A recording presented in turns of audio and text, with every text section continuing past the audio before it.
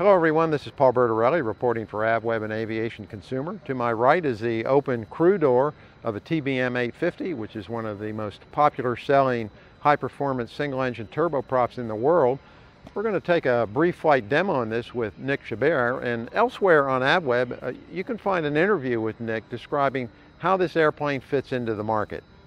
Although it doesn't look like it from up here at flight level 280, we're steaming along in the TBM 850 at 308 knots, just as the book says we should be.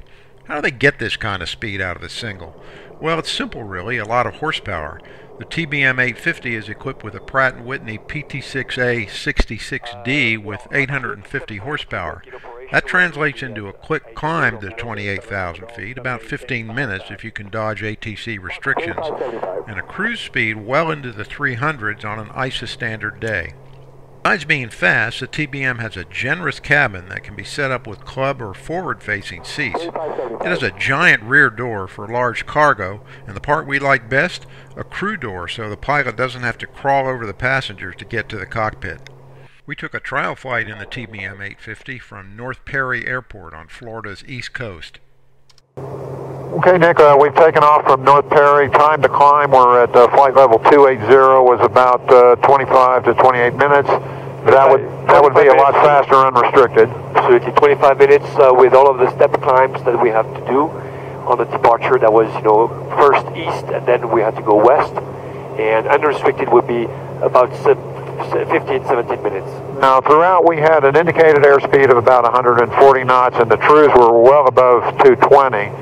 Uh, now, as we've leveled out here, the speed, um, the uh, POA shows we ought to be seeing about 303. We're at 302. We're at 302. We're still about six minutes to accelerate, six, eight minutes to accelerate, and uh, we need to be uh, around 188, 189 uh, knots indicated to be about 308 uh, to real speed, so it will take some time.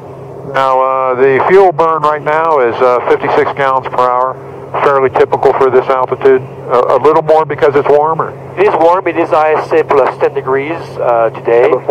So 56 gallons is, uh, is typically uh, more warm than a for Whiskey Foxtrot. Now, it, in this particular configuration, um, consider a calm wind day, what would our typical range be? We took off with full fuel. There are two of us aboard. We have tons of payload left if we wanted to carry um, anybody. Well, basically, if you look at the chart, uh, which is uh, right here, uh, that will define our range with uh, typical an hour. Uh, uh, so we'll, we'll be able to go all the way to Boston, even a little bit more, probably today with the wind. We'll be able to go to Maine direct uh, it would take us three hours. Yeah. Three hours, okay. So uh, what we're looking at here is the uh, the dash line is with reserves and the uh, solid line is dry no tanks. fuel, yeah. dry tanks.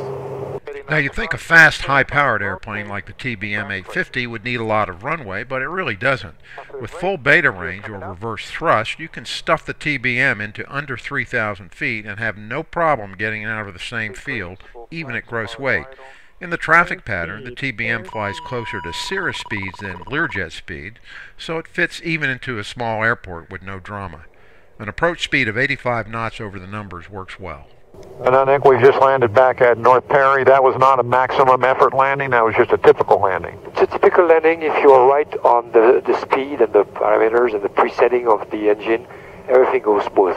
It's an aircraft that you want to configure exactly like uh, the big ones you want to make sure that you're perfectly stable on your path.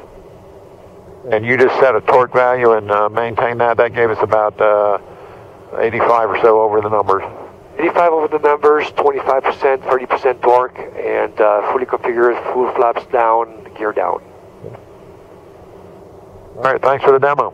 Oh, thank you very much, Paul. Paul Bertorelli reporting for AvWeb and Aviation Consumer. You can find a full review of the TBM 850 in the April 2012 issue of Aviation Consumer. Thanks for watching.